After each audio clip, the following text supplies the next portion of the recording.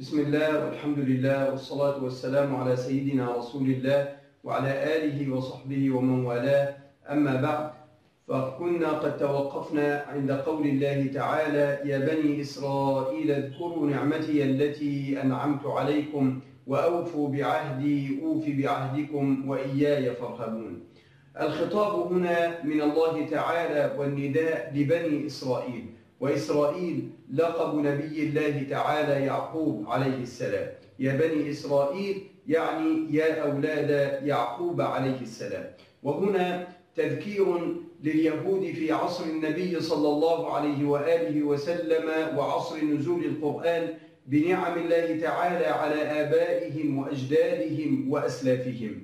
فنادى الله تعالى عليهم وقال يا بني إسرائيل اذكروا نعمتي يا وهي ليست نعمة واحدة لأن كلمة نعمة لفظ نعمة مفرد مضاف والمفرد المضاف يفيد العموم فهي نعم كثيرة كإنجائهم من فرعون وقومه وإنجائهم من الغرق وتضليل الغمام عليهم في التيه ونحو ذلك من النعم التي سوف يذكرهم الله تعالى بها في سياق هذه الآيات. يا بني إسرائيل يا أولاد يعقوب اذكروا نعمي التي أنعمت بها عليكم ويستلزم هذا التذكير بالنعم يستلزم شكر الله سبحانه وتعالى على هذه النعم. فهذا النداء تذكير لهم بالنعم ليقوموا بالواجب عليهم تجاه هذه النعم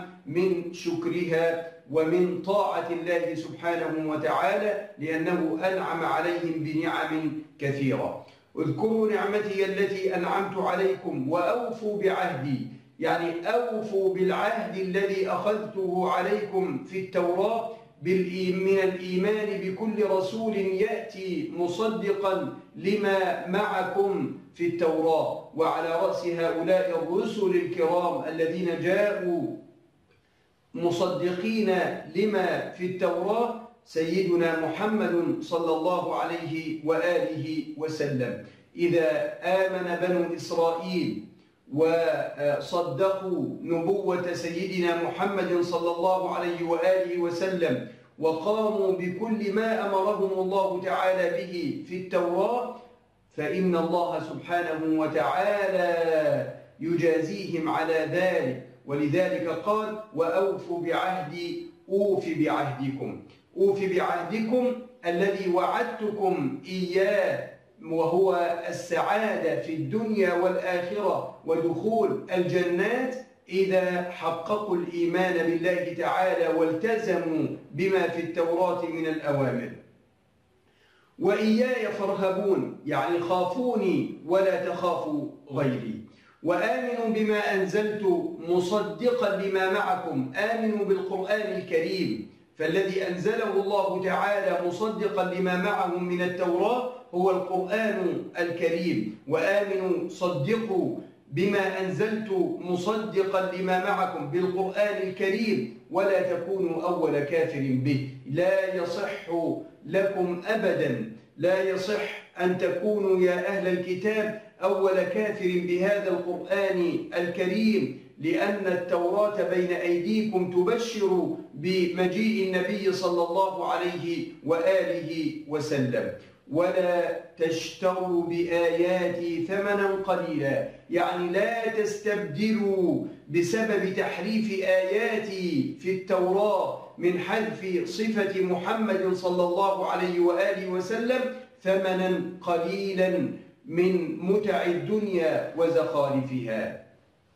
واحذروا عذابي وعقابي ولا تخلطوا الحق الذي أنزل عليكم بالباطل الذي تفترون وتكذبون وتقولون ولا تكتموا الحق وعلى رأس الحق الذي كتموه أنكروا صفة سيدنا محمد صلى الله عليه وآله وسلم. ولا ولا تكتموا الحق يعني تصديق نبوة سيدنا محمد. وأنتم تعلمون أنكم ملبسون كاتمون تفترون على الله الكذب. ومن أوامر الله تعالى لهم شكرا له على النعم التي امتن بها عليهم وأقيموا الصلاة وآتوا الزكاة واركعوا مع الراكعين. أقيموا الصلاة والصلاة كانوا مأمورين بإقامتها لكن بصفة وهيئة لا نعلمها تختلف عما عليه صلاتنا في الإسلام. وأقيموا الصلاة وآتوا الزكاة واخضعوا لأوامر الله. فالركوع معناه الخضوع. اخضعوا لأوامر الله عز وجل مع الخاضعين من المسلمين من أمة محمد صلى الله عليه وآله وسلم. ولما كان أحبارهم وعلماؤهم يأمرون أتباعهم بالعمل بما في التوراة وامتثال أوامرها واجتناب نواهيها. وكانوا هم على النقيض من ذلك وبخهم الله تعالى وأنكر هذا الصنيع منهم وقال لهم بأسلوب الاستفهام الإنكاري والتوبيخي والتقريعي أتأمرون الناس بالبر وتنسون أنفسكم؟ أتأمرون أتباعكم؟ وتخبرونهم بما أوجبه الله عليهم في التوراة من البر والتقوى وأنتم وأنتم تتركون العمل بهذه الأوامر وتتبعون شهواتكم وأهواءكم. إن هذا إن هذا لا يستسيغه العقل السليم. إن هذا لا آه، يعني يقبله العقل السليم. أفلا تعقلون؟ أليس لكم عقل يمنعكم من هذا الصنيع الشنيع والفظيع؟ واستعينوا بالصبر والصلاة.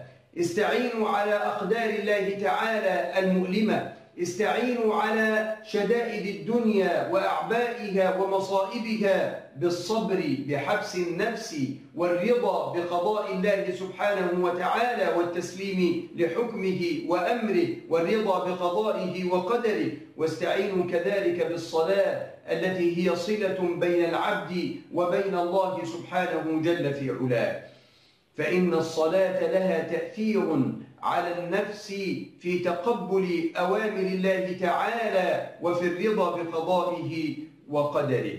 وإنها أي الصلاة لكبيرة لثقيلة إلا على الخاشعين إلا على الخاضعين المنقادين الممتثلين لأوامر الله سبحانه وتعالى. ومن صفات هؤلاء الخاشعين أنهم يتيقنون من لقاء الله تعالى في الآخرة لحسابهم وجزائهم على أعمالهم. فمن يعمل مثقال ذرة خيرا يرى ومن يعمل مثقال ذرة شرا يرى. الذين يظنون من صفات هؤلاء الخاشعين الذين يظنون أنهم ملاقوا ربهم. والظن هنا كلمة الظن من الأضداد. تستخدم في اليقين وفي معنى الشك أيضا. ولذلك المراد بها هنا اليقين العلم الجازم الراسخ بلقاء الله سبحانه وتعالى. لكنه عبر عن هذا اليقين بالظن للإشارة إلى أن الظن يكفي في دفع الإنسان إلى الصلاة والمحافظة عليها فما ظنك باليقين الجازم؟ الذين يظنون أنهم ملاقوا ربهم سيقفون بين يديه للحساب والجزاء ويرجعون إليه سبحانه وتعالى. ثم كرر الله تعالى النداء لبني إسرائيل تنبيها لهم. وتكرير النداء هنا مرتين. يا بني إسرائيل لشدة غفلتهم عن شكر الله سبحانه وتعالى على نعمه التي أنعم بها عليهم. لذلك كرر النداء مرة ثانية. وقيل كرره مرتين لأن المرة الأولى كان مصحوبا ومقرونا بالوعد بالنصر إذا هم حققوا وقاموا بما أمرهم الله تعالى به. فمرة ذكره مع الوعد وهذه المرة الثانية ذكره مع الوعيد. الوعيد والتهديد باليوم الآخر آه، حين يقف الإنسان بين يدي ربه سبحانه وتعالى. يا بني إسرائيل اذكروا نعمتي التي أنعمت عليكم. يعني اذكروا نعمي العظيمة التي أنعمت بها عليكم وقوموا بشكرها وأني فضلتكم على العالمين. اذكروا أني فضلتكم على عالمي زمانكم. فهذا التفضيل كان تفضيلا خاصا بوقت معين. أما أمة الإسلام فقال الله تعالى لها مخاطبا كنتم خير أمة أخرجت للناس. أما بنو إسرائيل ففضلوا على عالم زمانهم فقط. ثم خوفهم الله تعالى وأنذرهم وحذرهم بقوله واتقوا يوما لا تجزي نفس عن نفس شيئا. يعني اتقوا يوما خافوا يوم القيامة يوم الحساب والجزاء على الأعمال. هذا اليوم لا تنفع فيه نفس صالحة نفسا عاصية. ولا يقبل من النفس العاصية الكافرة المشركة. لا يقبل فيها ولا منها شفاعة مطلقة.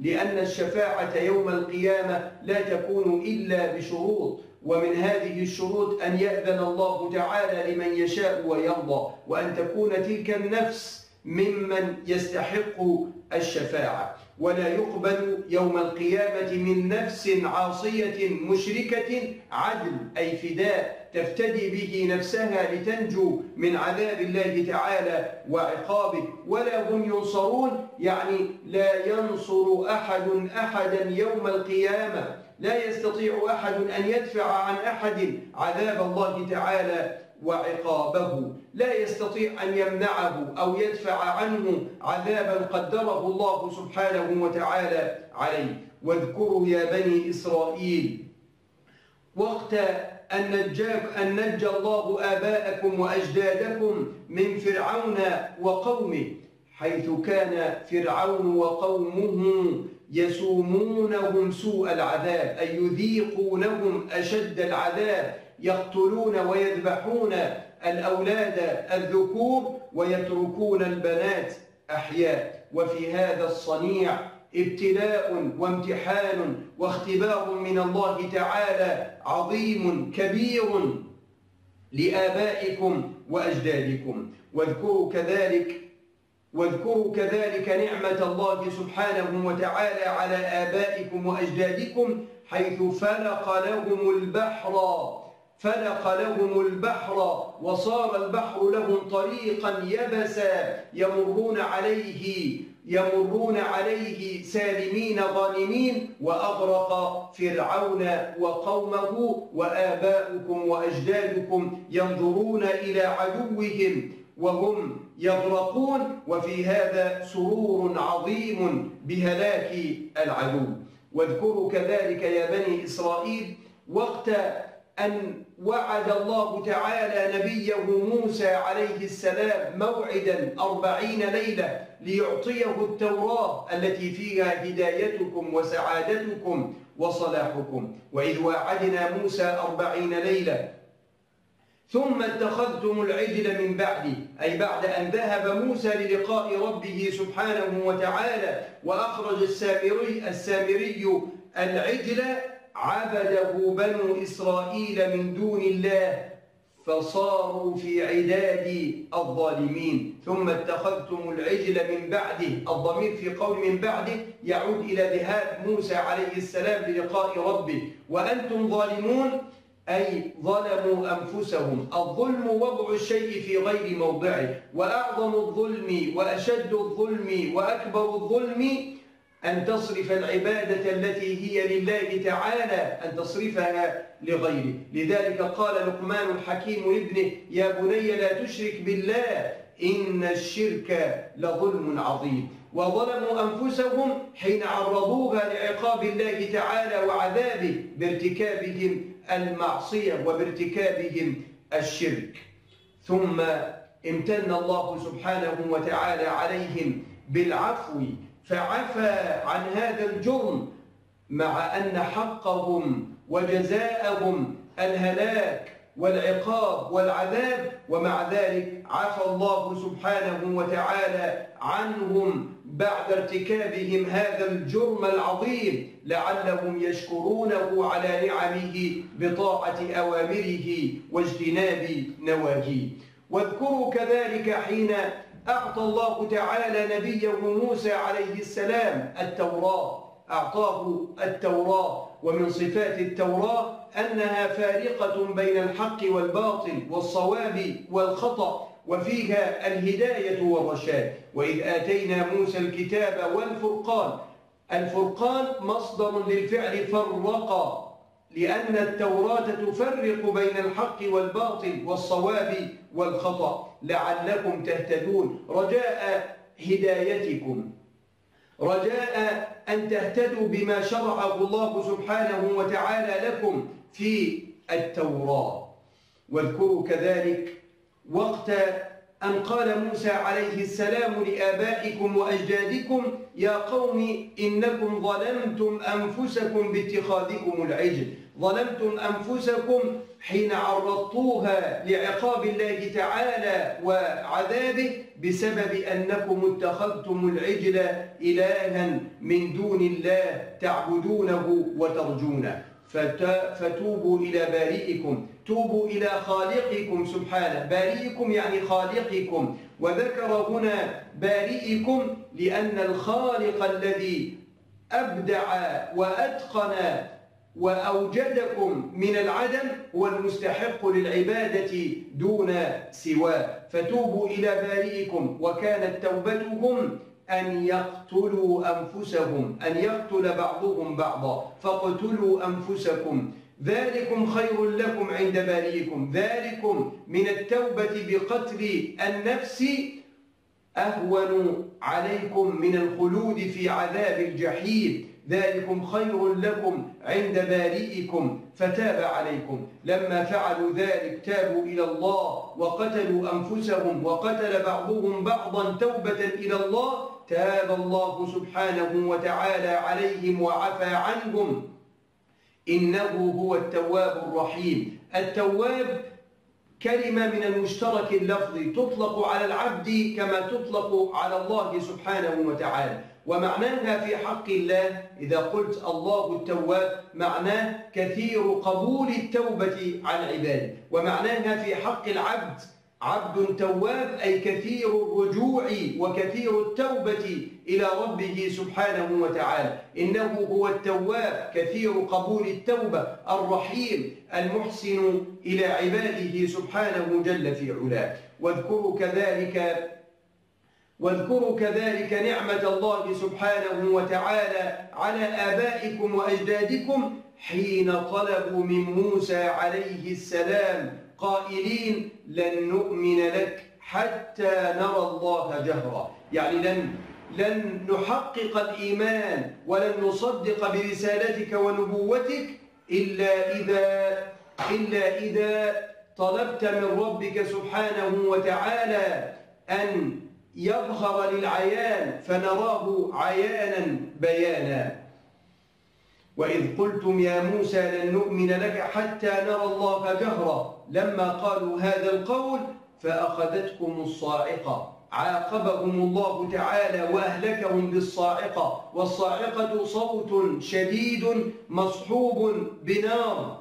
فنزلت الصاعقة عليهم عقابا لهم وهلاكا وهم ينظرون إليها تحل بهم فيزداد فزعهم ويشتد خوفهم. ومع كل ذلك وبعد كل ذلك عفى الله تعالى عنهم وأحياهم وردهم إلى الحياة مرة أخرى. ثم بعثناكم من بعد موتكم لعلكم تشكرون. ردهم الله تعالى مرة أخرى إلى الحياة وبعثهم بعد موتهم لعلهم يشكرونه بطاعة أوامره واجتناب نواهيه ومن نعم الله تعالى على بني إسرائيل أيضا أن ظلل عليهم الغمام وهم في التيه وقاهم وحفظهم من شدة حر التيه ومكثوا في التيه أربعين سنة ظلل الله سبحانه وتعالى عليهم الغمام وأنزل عليهم المن والسلوى. والمن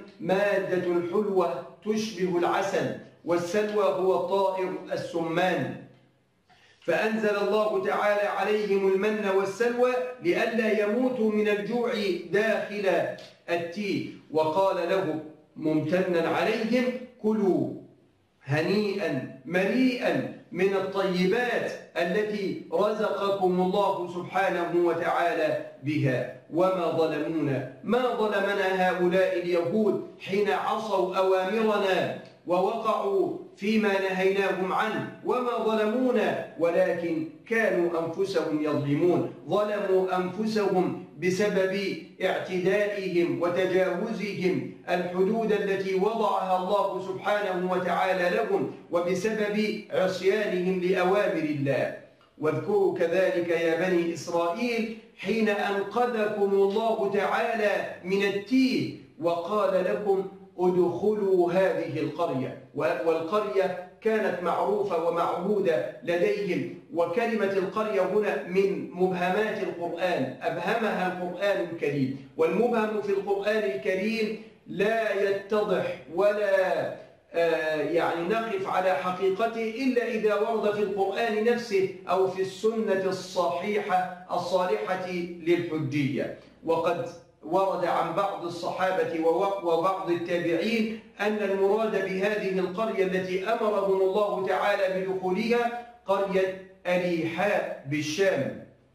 فقال الله تعالى لهم ادخلوا قرية أليحاء متواضعين لله. متواضعين لله تعالى. ادخلوا الباب سجدا.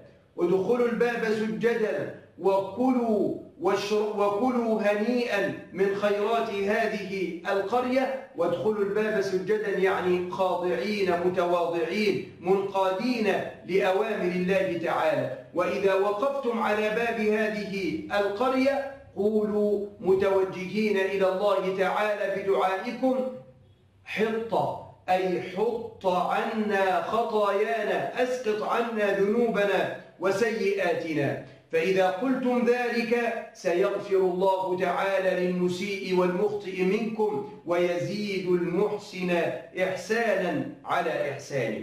فبدل الذين ظلموا من هؤلاء بدل الظالمون من اليهود هذا القول الذي أمرهم الله تعالى بقوله وهو حطة فبدل أن يقولوا حطة زادوا حرفا وقالوا حنطة على سبيل الاستهزاء والسخرية بأوامر الله سبحانه وتعالى. فلما بدلوا ما قيل لهم أنزل الله تعالى على الظالمين منهم المبدلين منهم ال... الذين لم يمتثلوا أوامره سبحانه وتعالى أنزل الله تعالى على الظالمين منهم رجزا أي عذابا من السماء. بسبب فسقهم وخروجهم وتجاوزهم الحدود وعصيانهم لأوامر الله سبحانه وتعالى. ثم واصلت السورة الكريمة تذكير بني إسرائيل بنعم الله تعالى عليهم. فقال الله وإذ استسقى موسى لقومه. اذكروا وقت أن طلب نبي الله تعالى موسى من ربه الماء ليشرب قومه. فماذا؟ هل استجاب الله تعالى لهم؟ وماذا فعل بهم؟ وهل شكروا الله تعالى على تلك النعم؟ على تلك النعم التي امتن بها عليهم هذا ما سنتعرف عليه إن شاء الله تعالى في المحاضرة القادمة. إن قدر الله لنا ولكم البقاء واللقاء وصل اللهم وسلم وبارك على سيدنا محمد وعلى آله وصحبه وسلم.